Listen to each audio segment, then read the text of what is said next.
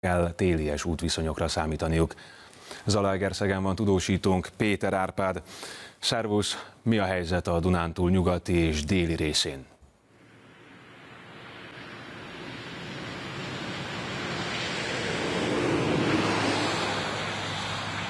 Péter Árpád.